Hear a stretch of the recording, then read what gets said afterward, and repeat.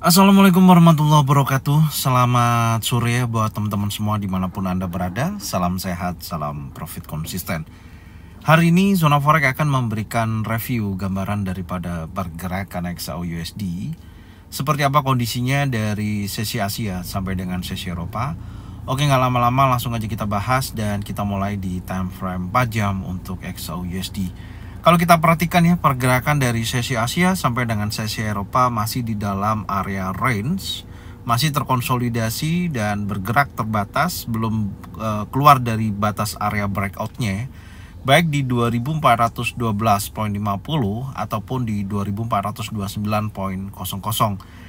Dan pergerakan sampai dengan sore hari ini ya, menuju pembukaan sesi Amerika nanti pukul 19.30 hanya sebesar 15.9 dolar per troy ounce belum ada perubahan. Jadi secara keseluruhan masih sama uh, apakah untuk XAU USD ini berhasil breakout close body candle ya? Kalau di time frame 4 jam nanti akan berganti pukul 20.00 kalau candlenya membentuk impulsif bearish seperti ini maka akan ada uh, potensi lanjutan koreksinya ya dari trend bullishnya tapi kalau uh, dia membentuk candle impulsif bullish, breakout close body candle di atas area 2429.00, maka di sini akan uh, menguji sekali lagi ya area strong high daily di 2433.99 sampai dengan area liquidity di 2437.41.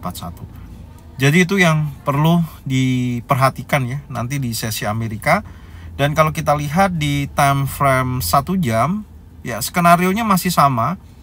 Kalau saya masih uh, menunggu market break di bawah area uh, 2412.50, maka insya Allah memungkinkan akan bergerak ke area imbalance yang berkisaran antara 2394.11 sampai dengan 2398.83 dan area ini uh, ketika ada potensi pembentukan bullish engulfing, bullish pin bar, trend setup, maka akan memungkinkan dia akan bergerak bullish. Dan strong low daily ini yang harus terjadi liquidity dulu ya, baru kuat menuju area imbalance. Intinya seperti itu. Jadi secara keseluruhan memang ketika kita melihat high, high, high, high, high-nya lebih rendah, maka ini masih kuat dorongan koreksinya masih sangat kuat ya belum ada struktur yang menunjukkan membentuk high yang lebih tinggi ya. Contohnya seperti ini. Ini kan high-nya lebih rendah ya dan ini menunjukkan potensi penurunan kecuali kalau dia breakout di atas daripada 2433.99 seperti ini dan membentuk swing low ya. High low membentuk higher high kembali. Nah ini baru dia akan menunjukkan potensi uh, bullish akan berlanjut. Itu gambarannya. Makanya ada batasan area breakout yang harus diperhatikan. Adapun kalau dia bergerak bearish ya, maka akan membentuk lower low baru. Nah, di pada area 2406.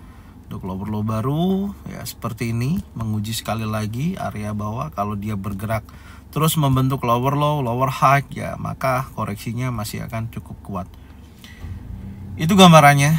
Jadi uh, konsepnya sampai dengan saat ini kita akan menunggu dulu uh, batas breakoutnya ya. Mana dulu nanti yang akan di breakout sesuai dengan uh, kondisi uh, struktur yang terjadi saat ini. Market masih terkonsolidasi. Selain daripada itu nanti malam akan rilis uh, FMC meeting minutes ya, tapi di sini uh, laporan aja uh, hasil dari pertemuan terakhir kemarin yang memang menunjukkan uh, masih mempertahankan ya suku bunga yang ada dan tentunya di sini ketika laporan tersebut menggambarkan akan memajukan untuk pemangkasan tingkat suku bunga maka akan menunjukkan positif ya pergerakan XAU USD maka akan semakin kuat untuk bergerak bullish ketika suku bunga tersebut dipangkas karena kita melihat terakhir data inflasi sedikit melemah dari 3,5% menjadi 3,4%.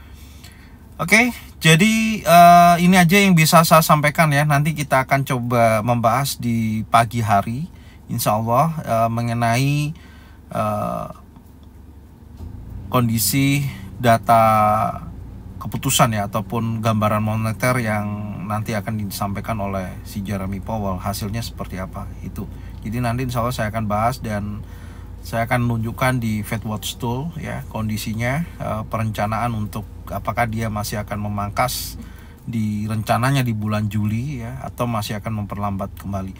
Oke, jadi ini aja yang bisa saya sampaikan. Semoga informasinya bermanfaat dan teman-teman bisa cocokkan dengan trading plan masing-masing.